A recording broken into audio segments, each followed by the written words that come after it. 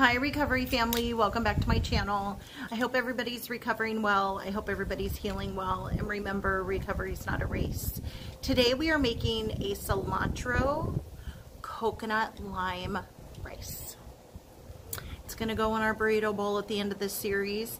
So don't forget to follow me on Instagram at Back to the Basics with Holly. You can follow me on Twitter now at Recovery Girl 9 And don't forget to like and subscribe. Stay tuned.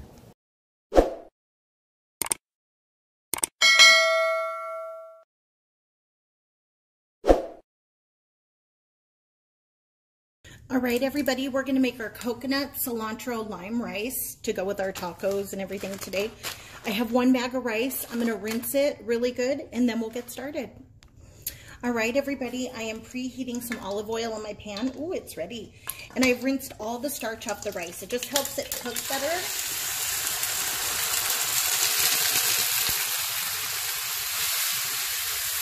And you wanna fry your rice up really good.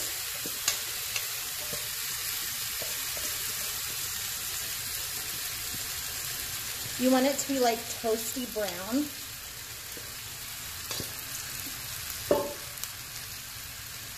I don't know if you've ever cooked rice-a-roni before, but you're supposed to toast the rice before you cook it. For some reason, it just makes it taste better.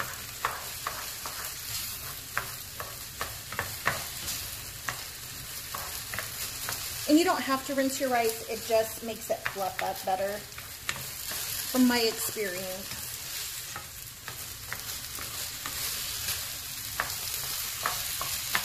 All right, I'm gonna get that all browned up and then we'll add everything and cook it. All right, our rice is getting nice and crispy.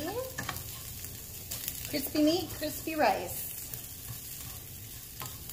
And you can use butter and regular oil on this too. But I like olive oil. Coconut oil is really good too, especially since it's coconut. Cilantro lime rice. Okay, this looks pretty good. In my mixture here, I have a can of coconut milk, two cups of water, and two tablespoons of chicken bouillon mixed in. It adds the flavor. So we're going to put that on the rice.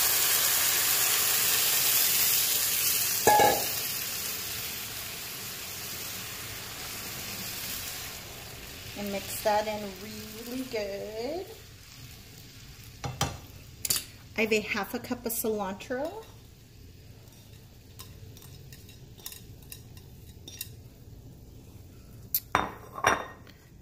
Two teaspoons of lime juice I fresh squeezed. And of course, we can't have a recipe without this. I'm gonna do one teaspoon of garlic salt. And this is a half, so I'm using two. And I'm going to let this slow cook. I'm going to mix it up really good.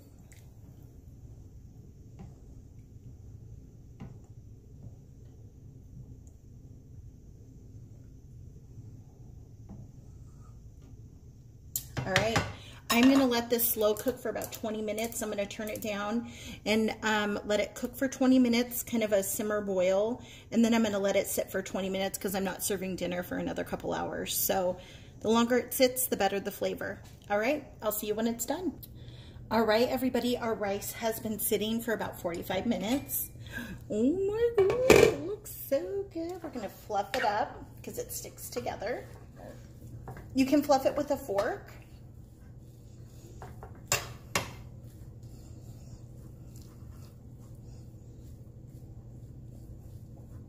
We're gonna make our burrito bowls.